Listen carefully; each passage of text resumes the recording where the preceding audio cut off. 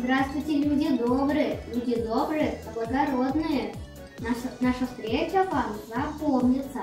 Давайте знакомиться. Я домовенок Мишаня. Хотите про русскую избу и быт услышать своими ушами? Тогда проходите, внимательно за рассказом следите. В некотором царстве, в некотором государстве, а именно в том, в котором мы с вами живем, строилась на Руси изба. Бывало без единого гвоздя. Себе избу сами из бревен поднимали, а соседи все помогали. Готова изба! Повесили образа. И каждый входящий дом порога крестится, и Богу ждет поклон, а с хозяевами здоровается потом. Так уж повелось на Руси без затей, красному углу привечали гостей, сажали на лав, на стол, под иконами, хлеб и соль подносились поклонами. А в доме-то главная печка была, от нее плясала вся изба. Ну посмотришь, четверть дома занимала. Но пространство она не съедает, а наоборот расширяет. Печка-матушка их кормит и обогревает, от недугов и хвори исцеляет. Щи да каша, пища наша. А какие калачи выходили из печи. Хозяюшка бывал к печи подойдет, ухват возьмет, подхватит чугунок, да на стол несет.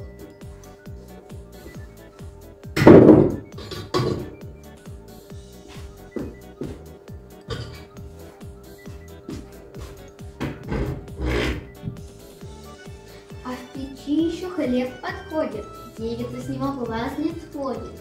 Вот кочергу взяла и поправила дрова.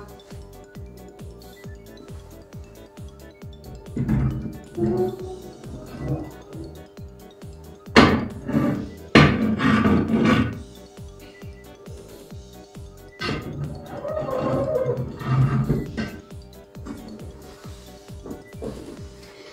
жар равномерно распределяется, да хлеб хорошо пропекается. Чтобы сытая была вся огромная семья. Жили в семье дружно, друг другу помогали. Одни по хозяйству поспевали, другие в поле трудились, никакой работы не страшились.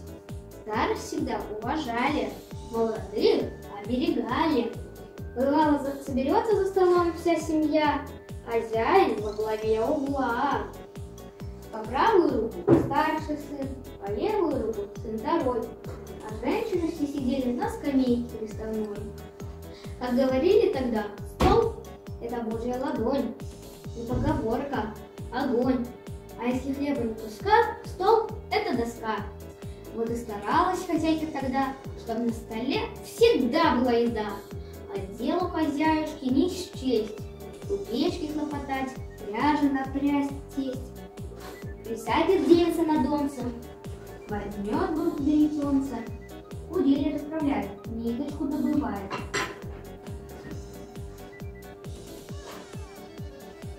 Или рушник руки возьмет, вышивать начнет. А может божник вышивает, а может утирать. Да дела у хозяйки немало, а тут и дитя зарыдало. К люльке мамочка идет, и детку накормит, колыбельную споет. Вот так с утра до ночи время идет, в заботах русская изба живет. Да вы к нам чаще заходите, на сундуке посидите. Я вам чайку налью из самовара, ведь рассказов у меня немало. Не все успел показать. До встречи! Буду вас ждать.